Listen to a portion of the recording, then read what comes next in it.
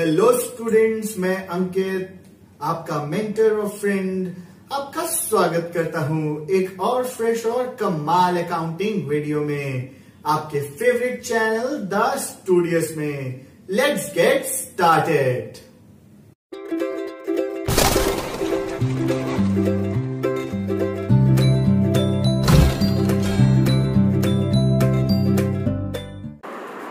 Hello students, welcome to your favorite channel, The Studios.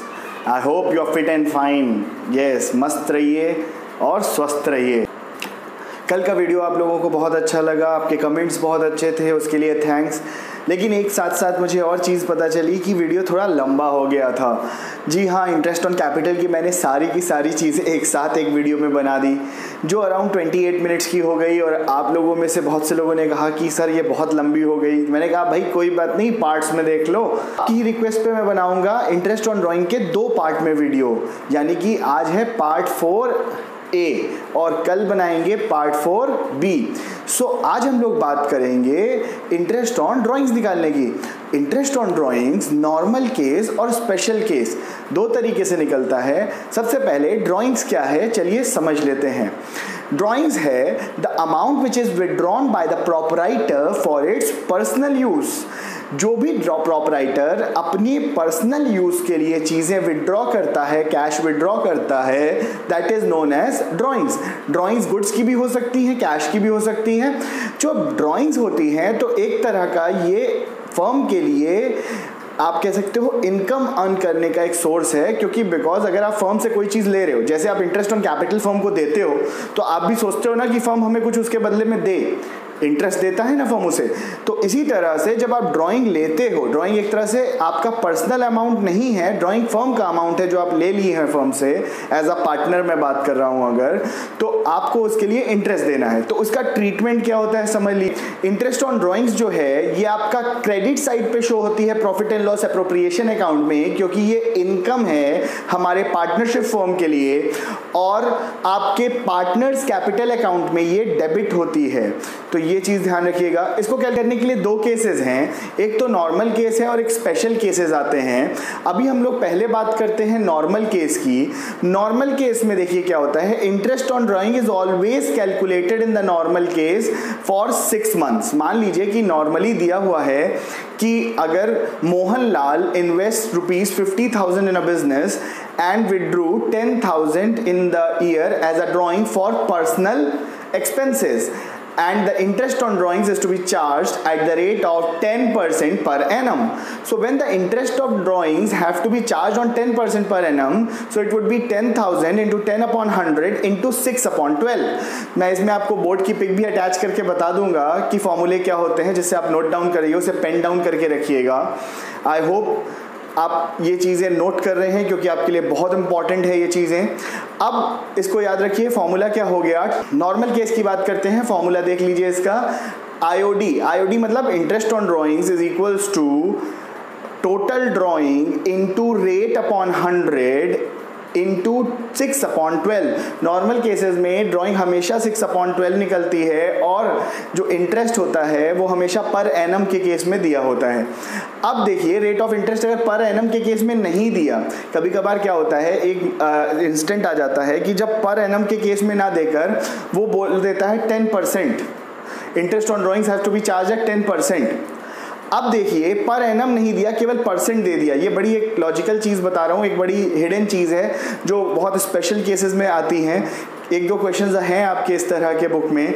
तो आप लोग याद रखिए, जल्दी कोई आपको बताएगा नहीं इसे, कि मान लीजिए पर एनम दिया है, तब भी तो नॉर्मल केसेस में वो सिक्स मंथ के लिए निकलता है। लेकिन अगर पर एनम नहीं दिया it is only given ten percent तब पूरे साल की ड्राइंग कैलकुलेट होती है, याद रखिएगा। फिर से समझ लीजिए नॉर्मल केस में अगर आपको पर एनम रेट दिया हुआ है, जैसे टेन परसेंट पर एनम तब तो वो सिक्स मंथ के लिए कैलकुलेट होगी जो हमारा फॉर्मूला था। अगर मान लीजिए वो पर एनम ना देकर केवल दे दिया है टेन परसेंट मतलब उसके आगे टेन परसेंट के आगे पी डॉट ए लिखा होता है, पर एनम उसका फुल फॉर्म होता है। तो अगर पी डॉट ए नहीं लगा, केवल टेन परसेंट लिखा हुआ है तो वो होता है फुल ईयर के लिए। यानी उसके लिए इंटरेस्ट ऑन ड्रॉइंग निकालने का फॉर्मूला हो जाएगा I O D is equals to total drawings into rate upon hundred उसमें ट्वेल्व मंथ्स पूरा होता है तो वन ईयर के लिए simple twelve upon twelve one हो जाता है तो उसमें केवल यही फॉर्मूला लगता है कि total drawings into rate upon hundred I hope यहाँ तक वीडियो समझ में आया। वीडियो अच्छा लगता है लाइक करिए कमेंट ज़रूर करिए और भर भर के अपना प्यार भेजिए बिकॉज़ आपका जो मोटिवेशन है लाइक्स हैं, वो बहुत अच्छा लगता है और मेहनत करने के लिए हमें इनकरेज करता है, बिल्कुल। चलिए, आगे बढ़ते हैं स्पेशल केस की तरफ़। स्पेशल केस में सबसे ज़्यादा पेज क्या होता है? बाकी तो आपको कोई दिक्कत नहीं होगी, आप उसे कैलकुलेट कर लोगे, मुझे मालूम है। लेकिन स्पेशल केस में क्या होता है? जैसे मैंने बताया ना, वहाँ पर आपको नॉर्मल केस में वन टाइम ड्रॉइंग दे दी ten thousand fifteen thousand twenty thousand लेकिन स्पेशल केस लोग बात करेंगे स्पेशल केस में, और स्पेशल केस में टाइम पीरियड कैलकुलेट करना बड़ा मज़ेदार चीज़ होता है और बहुत इंपॉर्टेंट चीज़ होता है। तो टाइम पीरियड कैसे कैलकुलेट होता है? समझ लीजिए स्पेशल केस में। स्पेशल केस में टाइम पीरियड कैलकुलेट करने का फॉर्मूला देख लीजिए, बहुत इंपॉर्टेंट है। इसको अगर आप याद कर लेंगे तो life long interest on drawing निकालने में कभी दिक्कत आनी ही नहीं है।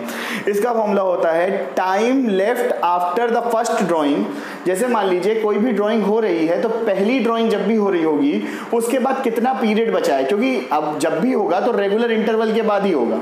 एक केस होता है इरेगुलर इंटरवल का, वो हम आपको कल बताएँगे, कल वाली वीडियो में। इरेगुलर इंटरवल का बाद में बताएँगे। यहाँ पर हम लोग स्पेशल केस की बात कर रहे हैं रेगुलर इंटरवल रेगुलर इंटरवल का क्या मतलब है?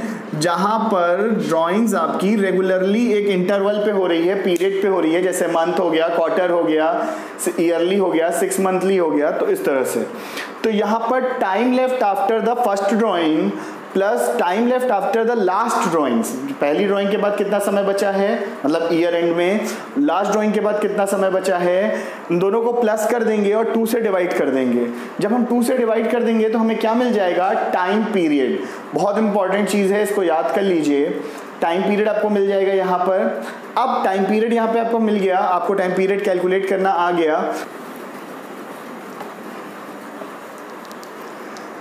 अब देखिए टाइम पीरियड कैलकुलेट आपने कर लिया। अब टाइम पीरियड कैलकुलेट करने के बाद इसका फॉर्मूला क्या हो जाता है? I O D is equals to total drawings देखिए टोटल ड्राइंग्स में क्यों कह रहा हूँ? क्योंकि ड्राइंग्स का अमाउंट अगर एक दिया है और रेगुलर इंटरवल दे रहा है आपको तो into twelve into six into three into four कुछ ना कुछ करना पड़ेगा। मैं आपको बताता जाऊँगा। Into rate upon hundred into time period जो भी टाइम पीरियड हमारा कैलकुलेट होगा यहाँ पर बेटा अपॉन ट्वेल्व ये बेसिक फॉर्मूला है। अगर आप इसको याद कर लेते हैं तो कभी भी आपको आईओडी निकालने में दिक्कत नहीं होगी। चलिए, आज हम लोग कुछ केसेस के बारे में बात करेंगे इसमें, जो आते हैं इंटरेस्ट ऑन ड्राइंग कैलकुलेट करने में। पहला आता है, आज हम लोग बात करेंगे मंथ वाइज आज के वीडियो में हम लोग बात करेंगे मंथ वाइज आज हम लोग इस पर फिनिश करेंगे और कल हम लोग बात करेंगे जो आपका क्वार्टरली होता है और उसके बाद इरेगुलर ड्राइंग्स क्योंकि हाफ़ ईयरली इंपॉर्टेंट नहीं होता तो हम लोग उस पर नहीं जाएँगे। पहले आ जाते हैं मंथ वाइज देखिए मंथ वाइज में अगर फ़र्स्ट डे हो रहा है first day of every month first day of every month का मतलब क्या है? यहाँ पर सिंपल समझो, अगर फ़र्स्ट डे की बात करते हैं तो पहले मान लीजिए कि हमारी जो ईयर है वो फ़र्स्ट जनवरी, अगर ईयर की बात करते हैं तो जैन टू दिसंबर है, ठीक है? अगर जैन टू दिसंबर है ईयर तो मान लीजिए फ़र्स्ट जनवरी को निकल रहा है तो टाइम कितना बचा हुआ है?